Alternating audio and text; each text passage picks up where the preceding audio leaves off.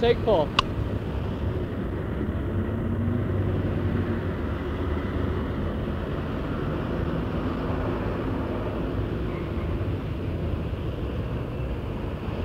Für die Suite in diesem Londoner Luxushotel bezahlt Frank Zappa pro Tag 200 Mark.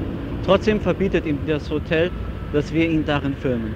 Die Direktion befürchtet, dass er mit unserer Hilfe einen Sexfilm dreht.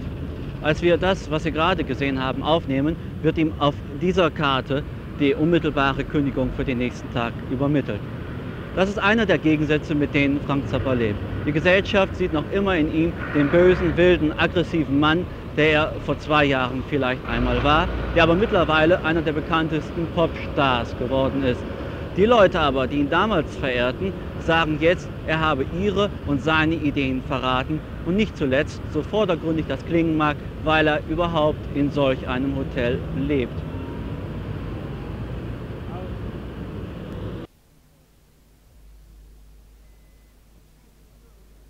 What are you guys gonna do? Are we gonna film? Is this filming now? What is this being filmed for? That's Oh, Jeff. hey, Jeff Simmons, the bass player in the group. This is George Duke, the piano player. Mark Sex, Volman. Sex Idol. Ian Underwood. Mark Volman on Ian lead. Underwood plays piano, and he handles my luggage. And I'm his Back manager. there's Frank Zappa in the green. Frank has changed quite considerably since the last time we were in London. Come on, man. Come on up here, man. Come on, get a picture taken. James Taylor. Yeah? What is this for? There's more guys, so save film. He's not even shooting. No, right. There's this is more like, to uh, come than you think. Is it at least in color? Is it in color so you can see the beauty But, of life? uh, what? Look at his hat. I mean? I mean, what the?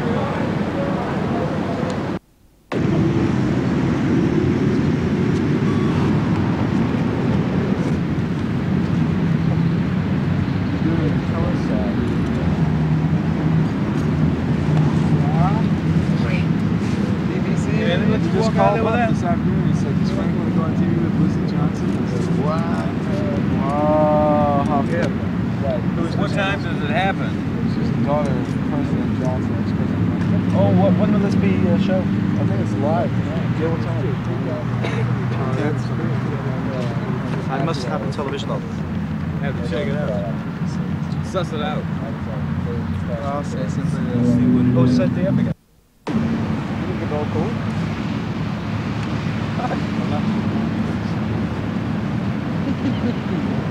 Was it done yet? Amazing. Thanks, man. Frank. Yes, man. Don't try to talk soulful to George. Come on, moving, please. Can you get the film crew out? Lip side. You guys can take a picture of the way, but they won't leave. Why is that? I am, though. You are? What over? So that's not the one that matters. Hey, Seven. Oh, really? Yeah. Seven. So the guy with the more expensive equipment was. Från så vis.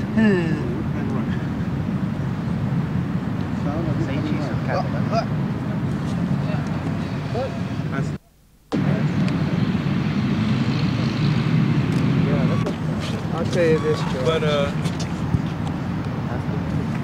Can't see it. Right. What is your story? Yeah, that's it. That's it. Yeah, just a bit. Wild photographer talking. Move about a bit. Mill about. About. Change to it. Out. That's nice. Sad that our Frank? milling produces Mr. merely Frank, this, could isn't you it? tell the Hulk, ladies and gentlemen.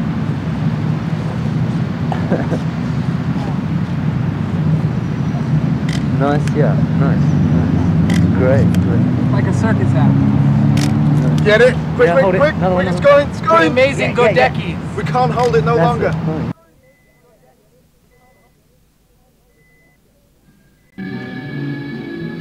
This is Zappa, Frank Zappa, roll two.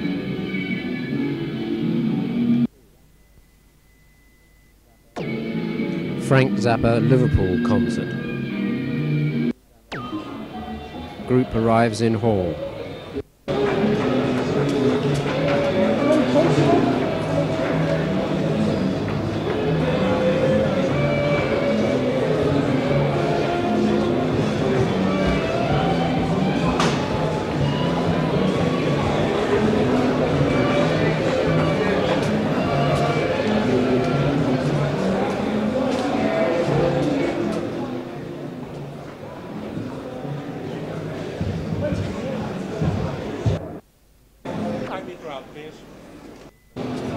Sync to silent turnover.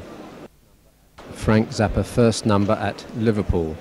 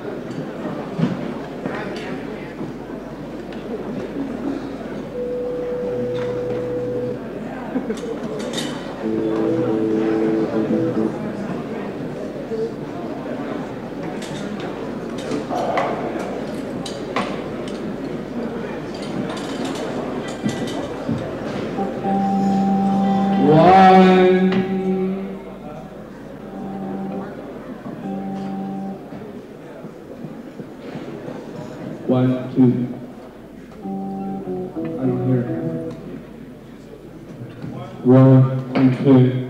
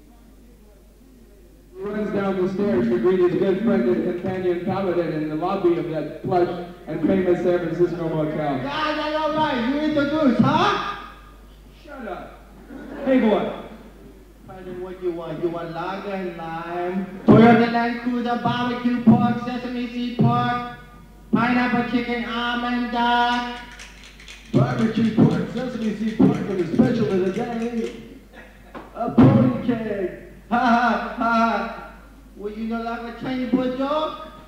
You know ha? you, you got the ass. You mother. I'll tell you, hey boy, you little queen. Just book a room here in this plush San Francisco hotel for me and my sister. Uh, pardon, you commit incest. And if anybody asks where I am, tell them this. Pardon, you 55. You never see 50 again, but you just hypnotically. And Paladin does gesture hypnotically as he reaches into his back pocket and pulls forth the card of lust, front pocket, and pulls forth the card of lust, danger, romance, and adventure. Hand tent, hand tent, hand tent, hand tent, hand hand, hand tent, hand. This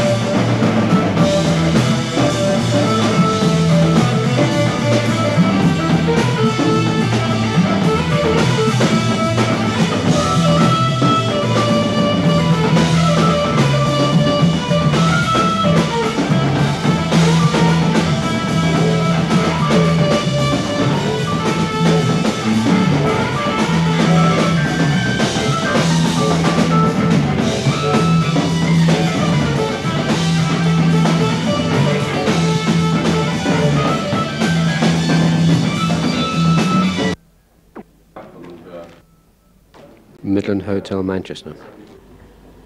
Okay. Let's, let's check it. We're running. Okay. Camera's running. You sing in your program about the plastic people. What does it mean, plastic?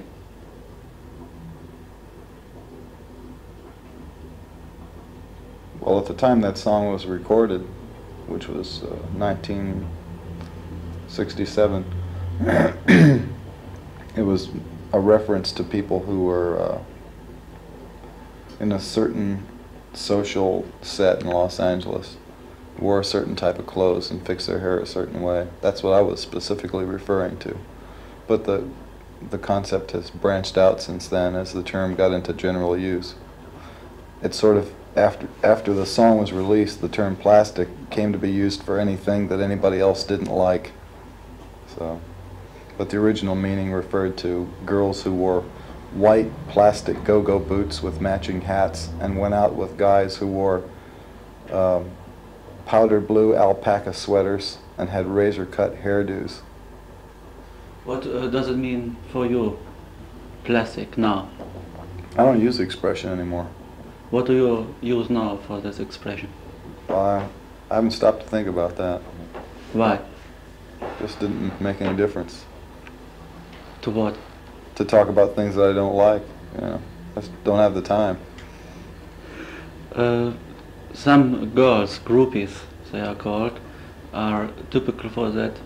What for many people is plastic. Not for me. What's for you? Typical groupies? No, what's what uh, do groupies mean for you?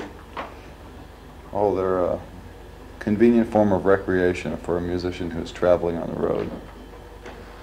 And the groupies themselves uh, are understanding for a part them as a uh, kind of um, emancipated people, yeah? Some of them are, some of them aren't. Each one of them is a different person. For you, they are uh, emancipated or? Well, most of the ones that I come in contact with are reasonably emancipated.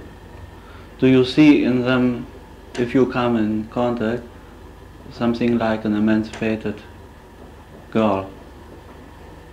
Well, some of them more so than others. But I think it's a good beginning.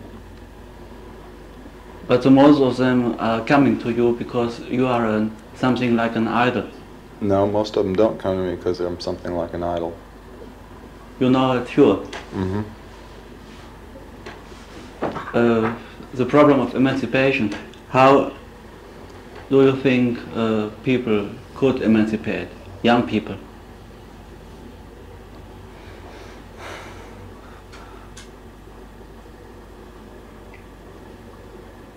I don't think there's any one solution that I could offer that would be useful to a large number of people because it's a personal problem. You know, everybody has their own set of little things that keep them tied down to a way of life that they might not uh, they might not enjoy. And there's as there's uh, a different problem for each person, there's got to be a different way out of it for each person. What's your solution? Well, I got loose when I was about 18. I forgot. Uh, first thing that started me getting loose was Zen. Um, in your program, you have some social meaning. So uh, this program has a relation to this problem of emancipation. Could you try Well? That's that doesn't follow as a logical continuity. There are some elements of uh, emancipation in our program, but that's that's an assumption that you've made. Why is this wrong? Well, it's wrong because it's not 100% accurate. You know, you're correct up to a certain degree, but just to say because our program deals with sociological things that it necessarily deals with that over there. It deals with a lot of different things. So it'd be better if we rephrase that question. Okay. Uh, but some parts of the program have social contents. Yes. And the relation of these social contents to this problem of emancipation, to the problem of solutions. Could you explain this? Well, for one thing, the, the way we perform uh, our music on stage acts as an example to some people. Uh, to, not to all of them because they can't understand the the complete show, but uh, we have set arrangements for certain songs. But at any time during those set arrangements, I can turn around and go like that and make other things happen. That's because the people have come to grips with the problems that they need to face to deal with that music so that they have most of those problems worked out in advance in their minds so that when I change it or do something unusual they're they're free to let their imaginations go right at that moment do you know what I mean Yes. What else? then sometimes the lyric content takes care of the You have uh, told me a year ago about uh, why you wouldn't take more so much so much lyrics, but now so most of the program has lyrics. that's because we have somebody two people who can sing them Who? Mark and Howard They have been the Turtles before, yeah. yeah that's right they Could were the Turtles Mark and And- Howard, Mark Volman and Howard Kaylan were the two lead singers from a group called the Turtles. And uh, they're good singers, so I figure that uh, instead of performing old Mothers of Invention vocal material, I would write some more songs.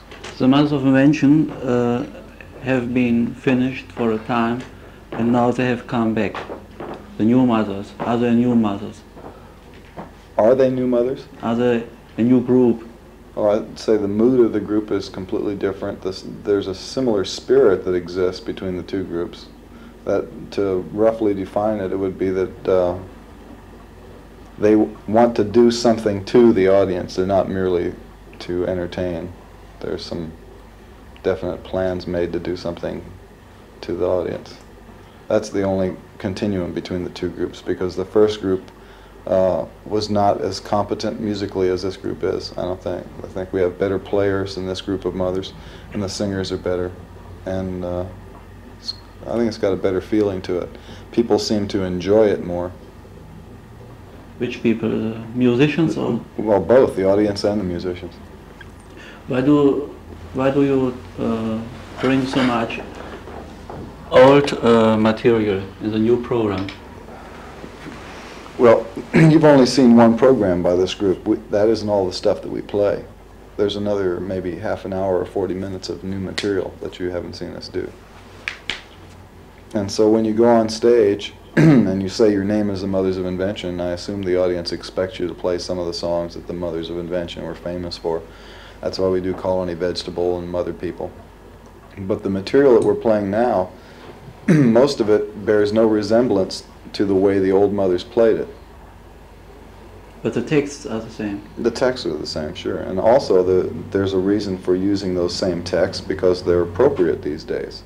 I think that a song like Mom and Dad is still appropriate, and so is Concentration Moon. Um, all these old songs had been written by you, so it's the work of of you and uh, it's not the work of the other musicians so much. Um, so most of these musicians have to repeat this work.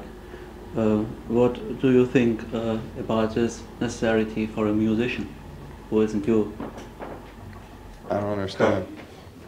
What's Running. you have the new mothers now, and you have had before the hot rats, and you have it still, hmm and you have all the time new musicians, and mostly the musicians play your material. That's right. So uh, I think there could be also a conscience at a musician more to play his own music. What do you think of this problem? That the players want to play their own music? Yeah. If they really wanted to play their own music, they'd be off playing it, wouldn't they? Could they play it at you? Could they play it in the in our group? No. Sometimes I play other pieces of material, but the reason that I put the group together is so I could hear the things that I write. And it's the same way with anybody else in the group. If they wanted to write some material and get it played, well, and let them face the problems of putting together a group to make it happen. See, Um, the way I think of the group, it's a, it's an orchestra.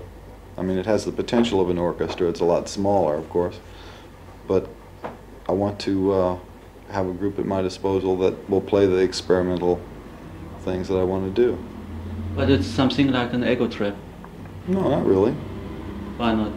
Well, for instance, wasn't there a composer named Haydn who had at his disposal an orchestra?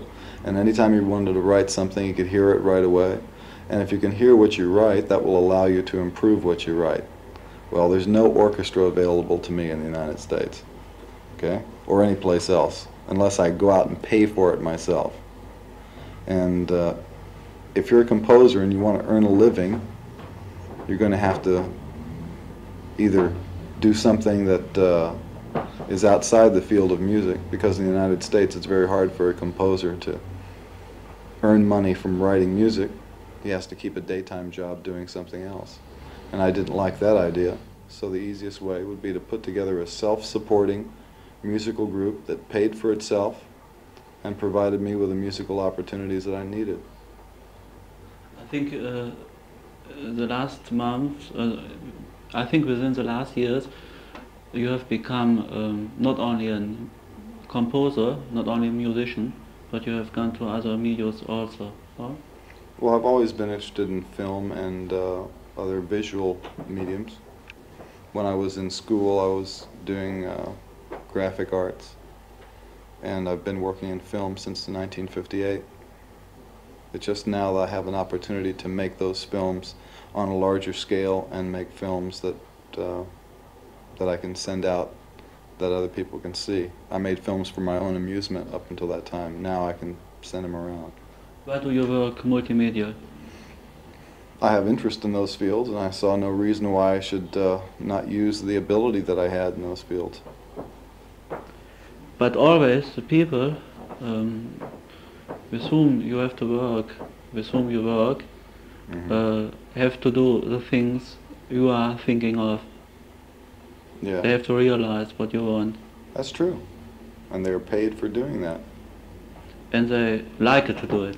Sometimes they do, and sometimes they don't, but they always have the opportunity to leave if they don't like it. Hmm.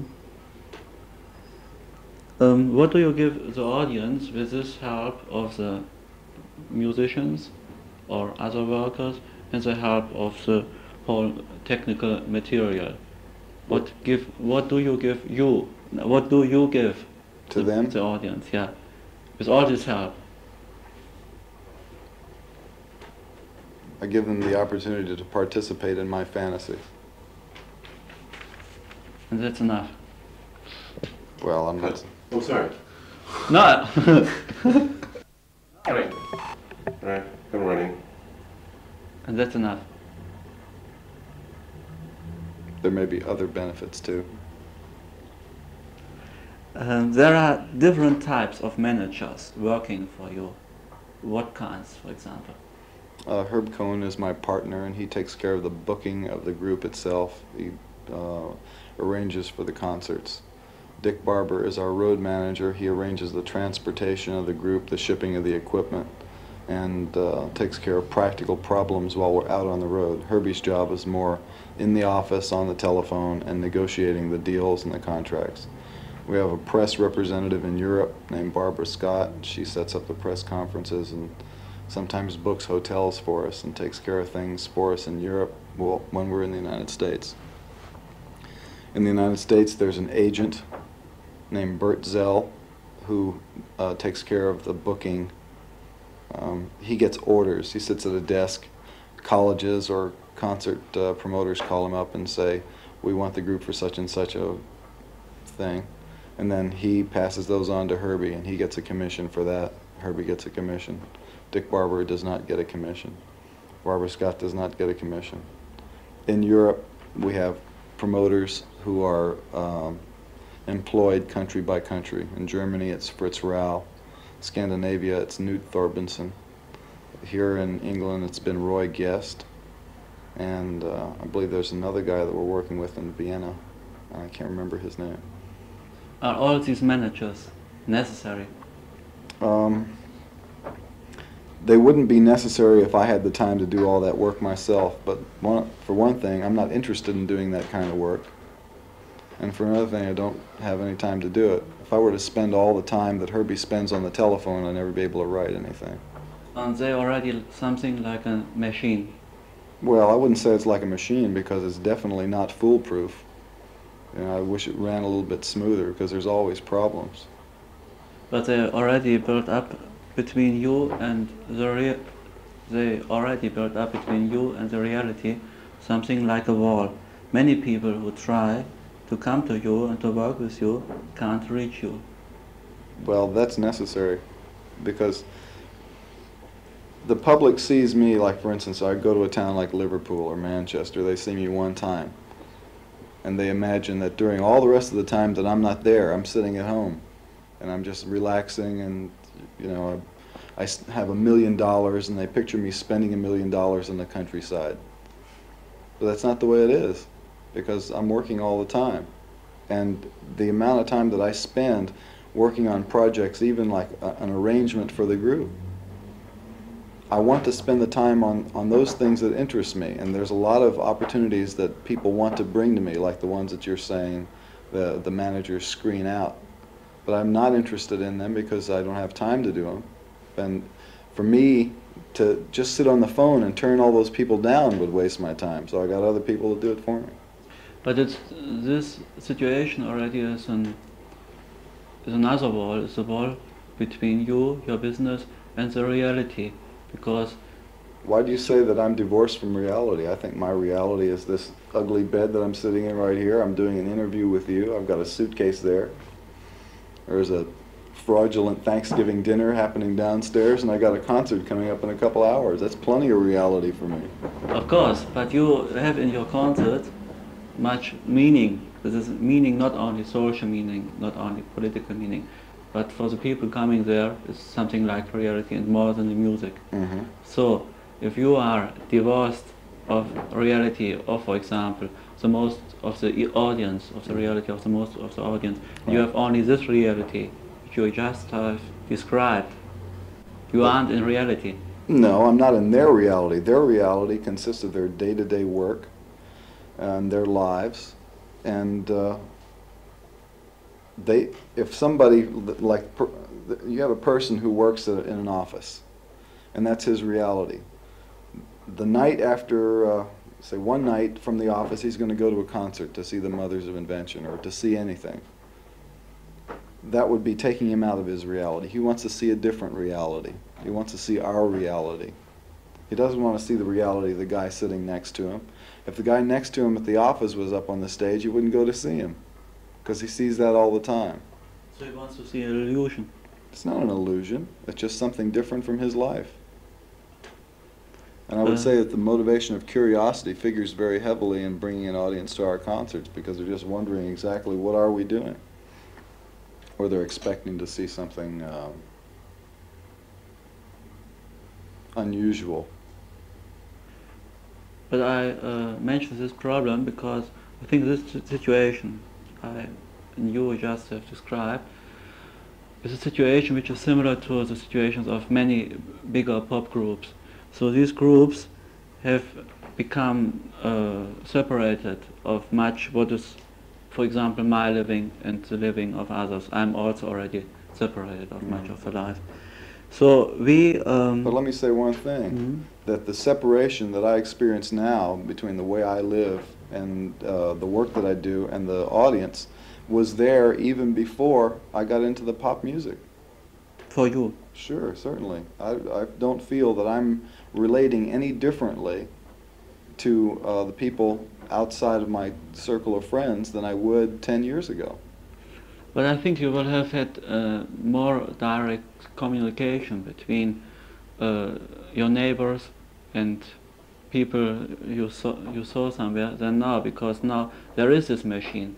I have That's- been well- I have been these three days Mhm. with you on tour. And I have seen many situations when the people couldn't reach you. So there's a machine between and what? This is wild track only. Um, so the, uh, the people who tried now to come can't come. Who, And- for instance? Oh, I have met some people, for example, at some underground papers Mm-hmm. who uh, didn't even know that you have been in the city. So uh, then they tried and they had to go to the publicist and the publicist is looking, oh, is he allowed to go to Frank Zappa or not? For example, my own situation, I, uh, if I'm at you, I can be here. If the publicist is there, he is looking if I'm allowed to be in this moment at this room. So Mhm. there is a machine going. Mhm. And the question for me is, I think that the use of the word machine is uh, very bad semantic practice at this point. yeah, okay, there is something going, and this something, uh, the question is, if this something is um, still so strong going that you become already a function of it, what's your idea to this problem? I don't believe that I'm a function of that machine. First of all, I wouldn't have it any other way than the way it is now, except more efficient, because my time is so scarce. If if I don't have time to spend working on the creative end of the projects, they don't get done. If I'm involved in a film now, I have a certain amount of time where I have to turn out a vast quantity of work. I don't mind doing interviews, but I want to be able to give everybody a chance if they're going to interview. So therefore, when a person comes to me and asks for an interview, I would rather they didn't come to me at all. They'd go to a publicist. The publicist would figure a certain block of time and divide it up and say, you have these interviews. So I cooperate and I go at the time that those interviews are set up. Most of the time, Barbara Scott never even asks me, do you want to do an interview with so-and-so? She just sets them up. Hmm. So like, to me, it's a convenience. It helps me work. And uh, that's the only thing it is. It's not any mysterious mystique or, you know, it's not showbiz. It's just practical. And this practical model you have to, to use there is necessary because you have a special idea of your whole work. It's necessary because there are only 24 hours in a day. When it's possible, I like to sleep eight of those hours. During the rest of that time, I like to get as much work done as possible. In order to perform a concert on stage, there is a bunch of pre-planning that has to happen. Your rehearsals, your travel, checking in a hotel, stupid things like getting something to eat or getting a cup of coffee when you want to. That's one set of problems. I have maybe 20 concerts during the next uh, month. Okay, each one of those concerts is prefaced by a different set of problems. Now you take that whole block of work and put it over here.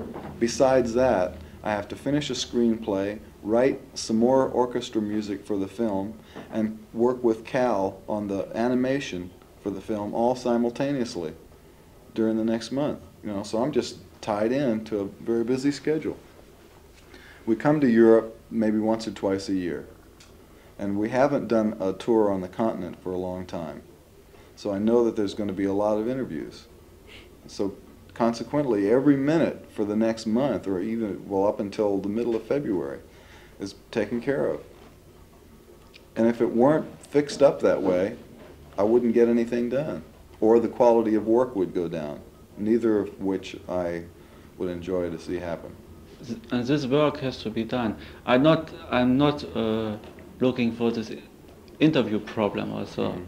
For me, it's only in, uh, a part of, of the whole thing. If other people, if you, if I, if people working this way Mhm. still get contact to the other people, because the interviews is already very near to us, but the other people.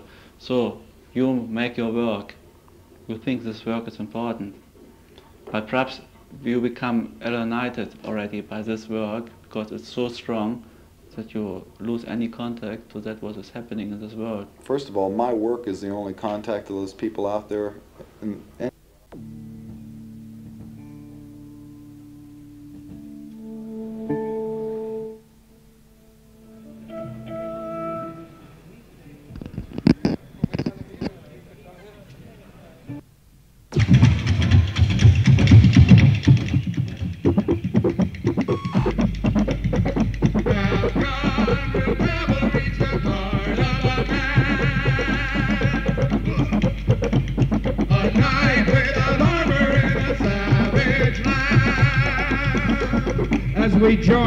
Paladin and his good friend and companion Heyboy in a plush San Francisco motel, we find Heyboy running down the stairs to greet his good friend and companion Paladin and say, Pardon what you want. You want potted meat, product, tribe, scotch egg, barbecue pork, sesame seed pork, pineapple chicken, almond duck, Honda. Toyota, Panasonic. What you want, pardon? You old sack. What you say, pardon?